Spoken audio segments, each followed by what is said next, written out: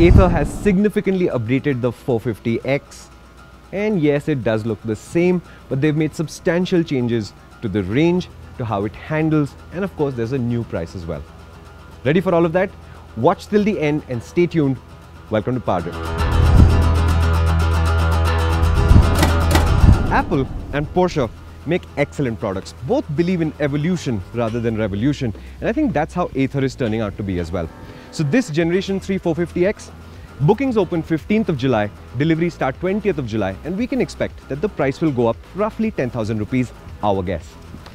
To visually differentiate this one from the older one, they put one new sticker which is... There's no sticker. You can get it in that white, that grey and this green and visually the Gen 3 looks exactly the same as the old one.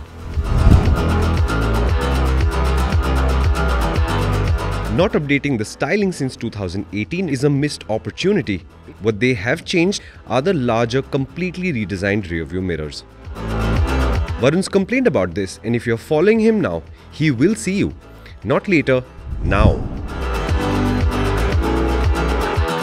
Ather has changed things under the skin and they're making those changes count. The biggest change of course is the battery pack itself which is larger and that means a bigger aluminium enclosure. It's 20 mm longer than before which in turn means that the mounting points for the battery pack on the same old frame have changed now. The scooter is also about 4 kilos heavier than before. This allows Ather to offer 105 kilometers of range in their Smart Eco mode and that's Ather's real world range number. We'll believe this number because Ather's display usually shows startlingly accurate range predictions. Ather says most of its customers, a 218 million kilometer database, ride around 30 kilometers daily. 80 is enough, they say. However, for new customers, 100 plus kilometers seems to be a psychologically important threshold to cross. And that's part of what Ather's been working on for the past two years. It takes them that long because Ather wants to deliver a flawless, consistent experience irrespective of terrain, weather or temperature. For this, the new battery pack has all the safety systems that work so well for Ather up to now. But Ather says this 25% larger battery pack has other implications. It extends the service life of the battery too. Because you go longer per charge, you'll charge less often on your commute and that's one way to extend your battery life. The other one is that now there are more cells in the battery pack and what that means is the load that you need from the battery when you're riding at a certain speed is spread over more cells, therefore you generate less heat. And the less you heat up the battery, the longer it lasts.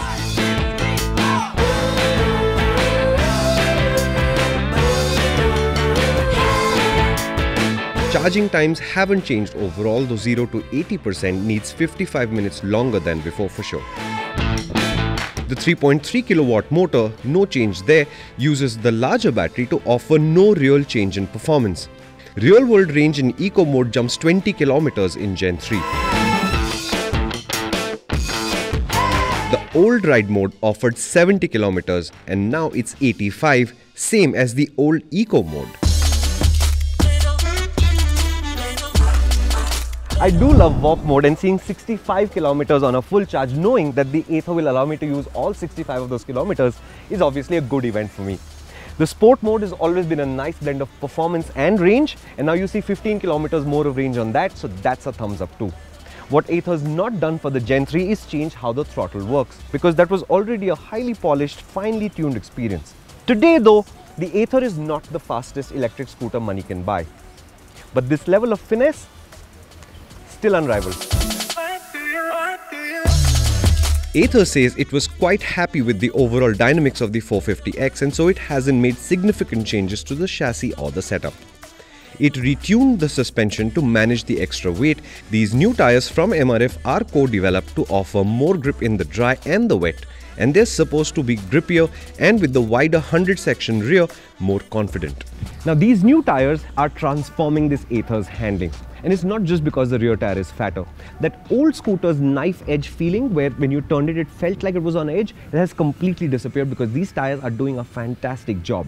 So it handles really, really well. It is super planted. The ride quality has improved. The surety with which you can brake hard has changed. The rear doesn't lock up that early. It's actually very, very, very good.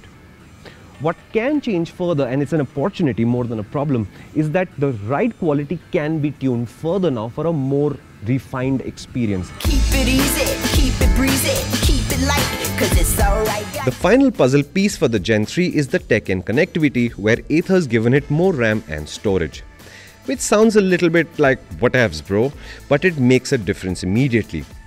The experience is more fluid, things load faster, and the screen responds much quicker than before. Ather says the extra room for storage and processing should enable in the future voice commands, offline maps, fancier graphics, as well as more granular diagnostics. The world is yours if you want it. Go get it, jump on it. Clearly, Ather is an engineering company. They've taken an impressive riding experience and raised the bar by making a key set of significant changes. So you can have more range. You can have all the performance you want in every mode. What is promised will be delivered. And of course, the feature set is slightly bigger now and it's a lot more fluid to use. Now the Generation 3 scooter is not going to be cheap. The older Athers weren't either. But what we know now is that Athers tend to offer a happy riding experience. It's trouble-free, it's slick, and you rather enjoy it. And to me, that is value for money, especially considering that the oldest Athers are reporting battery health, which is still far in excess of what Ather themselves were expecting.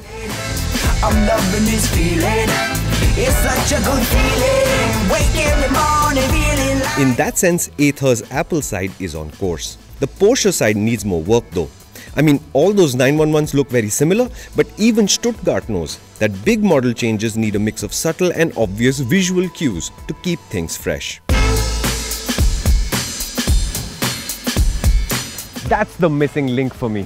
The Generation 3 450X should definitely have been offered at least in fresh colors, but the visual update to me is long overdue. Tell me what you think in the comments. Thank you so much for watching. This is PowerDrift. Please do all of these things for us and please do share this video with your friends.